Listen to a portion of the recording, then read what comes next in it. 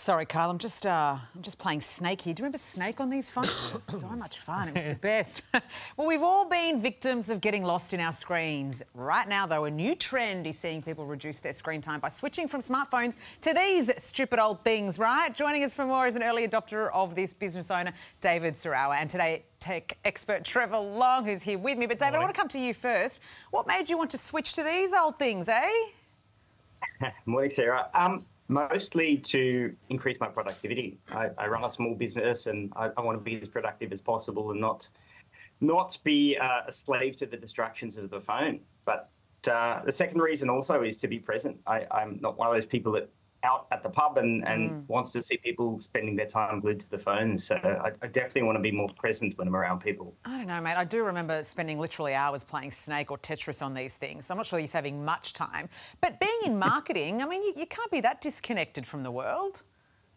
Uh, I do cheat a little bit, and I do have a second phone, a smartphone, because I found banking, invoicing, even some of the government Mate, apps. you're a fraud. Like Come on, I'm just going to call you out. That's, I mean, you can't have it both ways. Well, that, the, the work phone does stay at home. It doesn't leave the house. So, um, but yes, some of the banking apps and, and the government apps, you just you can't get by without them. There's yes. no way to authenticate yourself that I've found. So no, that's true. I mean, Trev, we do carry our lives in our new smartphones these yep. days, right? So, what are the benefits of these ones? Well, I think it's as David says, it's switching off the ability yeah. to say, even just for a weekend, you could put your mm. SIM card in one of these Nokia phones here for just for the weekend, okay. and not have all that inundation of content and emails and things, and just be able to call people as you need to. So the benefits are switching off and not having that addiction to the doom scrolling of social media. Can you also hang up on people easily? Like if Karl calls me, yes. can I just go bang? It's so much easier just yes. to hang up on Karl with a so flip. much more satisfying. Yeah.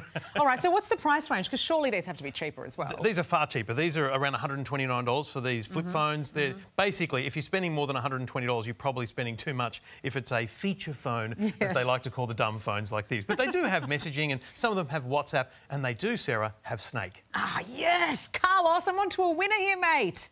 Yes. I'll leave you with it. I'm going to play Snake for a while. I'll beat you. I'm going to beat you. hear something? I'm going to beat you. Just go back there a bit. I can't hear Sarah. Just, just go there. Don't know where she is. Has anyone seen Sarah? camera on it. Huh? Oh, yeah. Hey, look. Selfie? Yeah, but I'm winning Snake. Selfie? Hey there, Today fans. Sarah and What's my name again? Oh my God, Karl. hey, thanks for watching our YouTube channel, though. Subscribe now for more news, special reports, and amazing Aussie stories. And Karl misbehaving, Whoa, of course. That never happens. Always happens. What's she talking about?